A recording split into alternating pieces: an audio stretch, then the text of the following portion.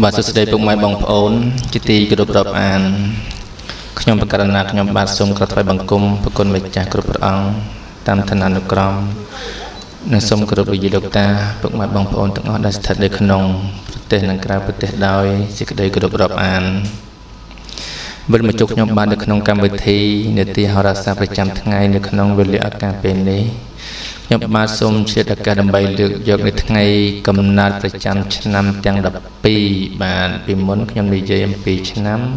ពីខែហើយហើយឥឡូវយើងនិយាយពីថ្ងៃម្ដងបាទនេះមិនថាពុកម៉ែបងប្អូន កាត់នៅឆ្នាំណាទេ តែនិយាយថ្ងៃទាំង7បាទអញ្ចឹងមកថា ថ្ងៃកំណើតប្រចាំឆ្នាំទាំង12ហើយថ្ងៃទាំង7ព្រមនិយមអ្នកម្នាក់มันអាចមានណាមួយកើតលើសពីថ្ងៃទាំង7ទេបាទមានអាទិត្យច័ន្ទគីពុទ្ធពហុសុខសៅអញ្ចឹងណាបាទអញ្ចឹងកុំឲ្យខាត់ពេលយូរសូមរងចាំស្ដាប់ដូចតទៅ ឆ្នាំទី1គឺឆ្នាំជូតបាទយើងរាប់ពីជូតទៅព្រោះបរាណាចារ្យយើងគឺយកឆ្នាំជូតជាលេខ1បាទជូតឆ្លូវខាថយចឹងទៅបាទសម្រាប់ពុកម៉ែបងប្អូនដែលកើតឆ្នាំជូតសូមខមមិនលេខការ៉េ5បាទលេខ5 4ដងជាលេខនាំសំណាងលេខជោគជ័យលេខមានហងស៊ុយលេខធ្វើឲ្យពុកម៉ែបងប្អូនឈ្នះអស់នឹងមានសត្រូវទាំងឡាយទាំងពួងដែលអាចធ្វើឲ្យពុកម៉ែបងប្អូនសម្រេចកិច្ចការងារបានគ្រប់យ៉ាងបាទ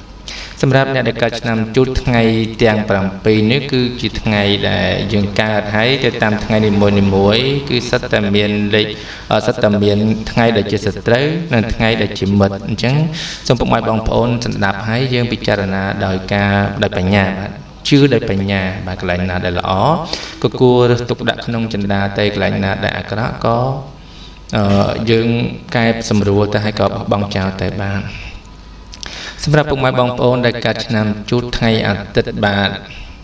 គឺជាបុគ្គលដែលមានគេរកួនជារឿយរឿយជាមនុស្សដែលត្រូវគេចំណានឈ្នាននេះច្រើន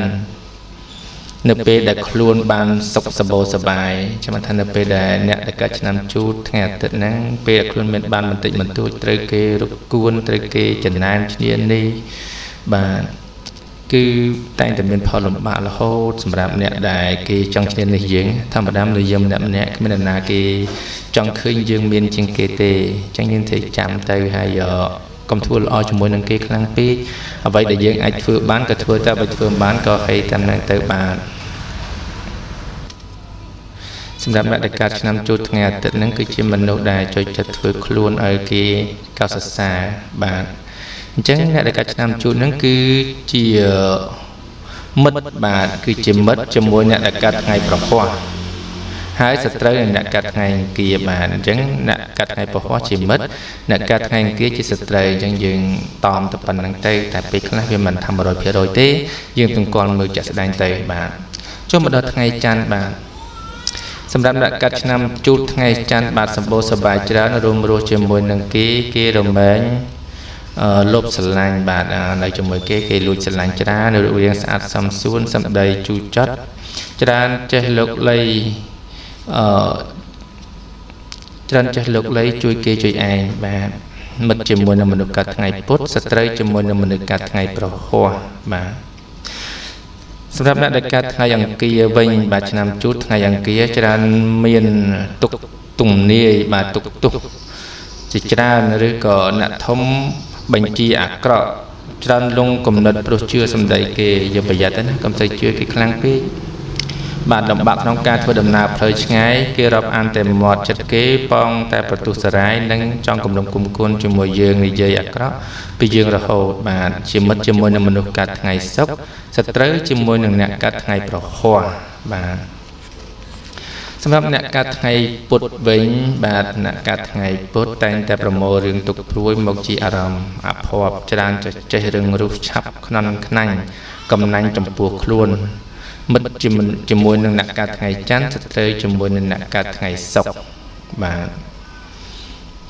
ចឹងចឹងចាំណាតែមិនថា100%ទៅដូចខ្ញុំប្រាប់អញ្ចឹងសំជឿដោយបញ្ញាមិត្តស្រួតទប់ទល់សត្រូវក៏ស្រួតទប់ទល់ដែរតែអ្វីដែលសំខាន់នោះគឺមិត្តផង សត្រូវផងបាទអញ្ចឹងអ្នកដែលកើតថ្ងៃពុធហ្នឹងគឺមិនទុកព្រួយច្រើនណាភ័ព្វបាទចូលចិត្តប្រមូលឬអតីតកាលដែលមិនល្អយកមកដុតកម្លោចខ្លួនឯងណាហើយជាមនុស្សរៀងតែចេះបន្តិចបាទកំណាញ់ចំពោះខ្លួនឯងបាទសម្រាប់អ្នកកាត់ថ្ងៃប្រហោះវិញបាទត្រូវបានគេជួយស្រោចស្រង់ឲ្យផុតពីទុក្ខវេទនារំរស់ជាមួយអ្នកធំបានល្អពេកក្រៃមនុស្សសត្វទ្របឬអំណាច ច្រើនរំលោភមើងងាយមិត្តជាមួយអ្នកកាត់ថ្ងៃអាទិត្យសត្រូវជាមួយអ្នកកាត់ថ្ងៃសៅរ៍បាទថ្ងៃប្រហោះគ្រាន់បានតិចបានដោយមានគេជួយយឹតយងឲ្យផុតពីទុកលំបាកមួយចំនួន បាទយើងនៅជាមួយអ្នកធំអ្នកដែលគេធ្វើការគឺបានល្អប្រសើរចឹងត្រូវចាំណាបាទអឺរួថ្ងៃដែលជាមិត្តល្អរបស់យើងគឺថ្ងៃអាទិត្យអ្នកដែលកើតថ្ងៃអាទិត្យហើយសត្រូវជាមួយយើងគឺអ្នកកើតថ្ងៃសៅរ៍ បាទសម្រាប់អ្នកដែលកើតថ្ងៃសុក្រវិញបានបរិបូរទៅដោយគ្រឿងឧបភោគបរិភោគផ្សេងផ្សេងអ្នកធំរមែងផ្ដល់ធនធានឲ្យជារឿយរឿយមានគេស្ងួនក្រងថ្នាក់ថ្នមយ៉ាងល្អមិត្តជាមួយអ្នកកើតថ្ងៃអង្គារសត្រូវជាមួយអ្នកកើតថ្ងៃច័ន្ទបាទសម្រាប់ថ្ងៃចុងក្រោយបាទគឺថ្ងៃសៅរ៍បាទថ្ងៃសៅរ៍ច្រើនបានជាអ្នកធំមានបុណ្យស័ក្តិខ្ពង់ខ្ពស់សម្បូរសប្បាយរុងរឿងដោយយុស័ក្តិបរិវារចំរួម បានសុខសាន្តផុតពីទុក្ខភ័យបាទមិត្តជាមួយអ្នកកើតថ្ងៃជារិហុលបាទអ្នកកើតថ្ងៃជារិហុលថ្ងៃទី1គឺថ្ងៃអាទិត្យហ្នឹងហើយបាទសត្រូវនឹងអ្នកកើតថ្ងៃពហុ